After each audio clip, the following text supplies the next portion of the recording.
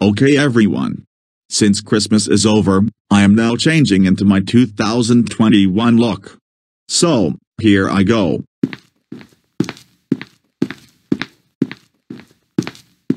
Alright guys, this is my 2021 look. So what do you think? Give me your opinions in the comments. Also, when 2021 is here, I will retire from Chrome since it will no longer support Flash Player in that year. Anyways, my voice will be Eric and David. So this is me. Peace out.